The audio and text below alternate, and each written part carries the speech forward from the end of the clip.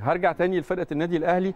وحضرتك قلت لي على آه، إنه موسيماني إلى حد كبير أنا يمكن كنت بتكلم في ده في أول حلقة. أعتقد خد فترة كافية جدا من ساعة ما تولى المسؤولية لغاية النهارده إنه يحكم وإنه يقيم وإنه يكتشف مواطن القوة والضعف في الفريق ككل وفي العناصر بشكل فردي. متفق حضرتك آه معايا بالظبط. طيب. لما أجي أتكلم على مشوار كأس العالم هل حضرتك شايف إنه أداء الأهلي مطمئن بالنسبة لحضرتك؟ هل شايف إنه محتاجين نشتغل على حاجات معينة؟ هل شايف إنه محتاجين ندي فرصة أكتر للعيبة معينة؟ لو جاوبنا على سؤال الأهلي في كأس العالم. عايز أقول لك إن هو راجل شغال يعني هو راجل عنده ملفات بيشتغل عليها آه، آه، آه، يعني هو عنده ملف الدوري العام دلوقتي بيحاول إن هو يكسب كل مباراة.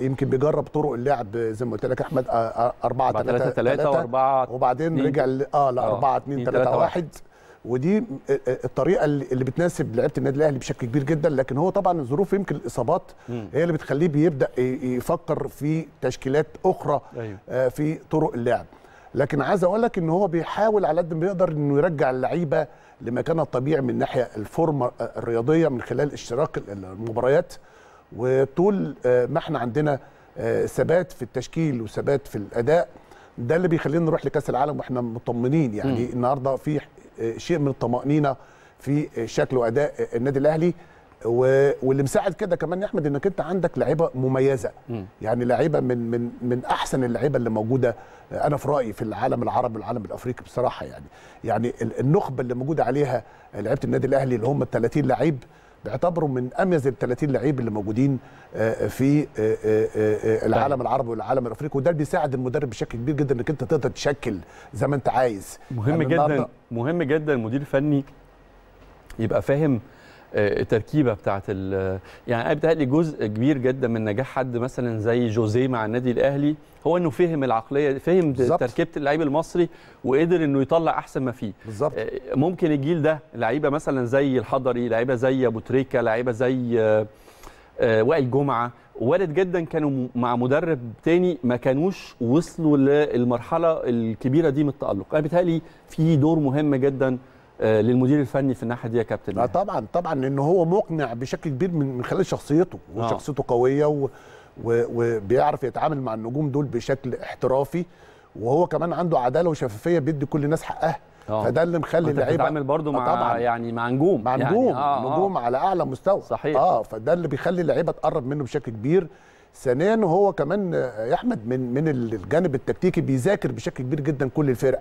آه ولما تذاكر كل ال- الفرق آه، بشكل احترافي بتساعدك كتير جدا في إدارة المباراة مم.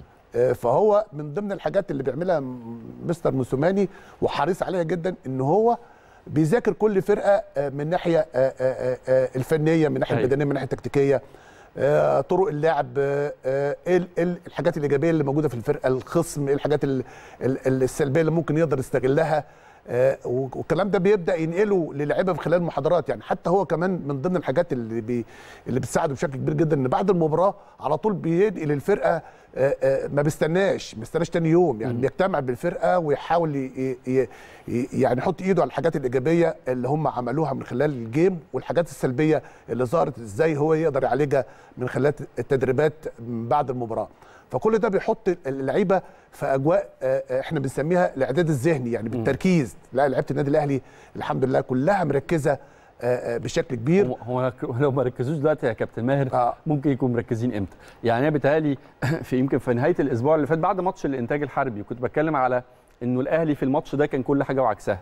آه. يعني شوط أولاني آه، خالي من آه، أي حاجة ليها علاقة. بفنون كرة القدم خالي من المتعة خالي من الأهداف خالي من الأداء. شوط تاني يكاد يكون مبهر على كل المستويات. كرة ممتعة أهداف حلوة وملعوبة تحرك بكرة وبدون كورة. يعني تحس إنه ال 11 غير ال 11 تماما.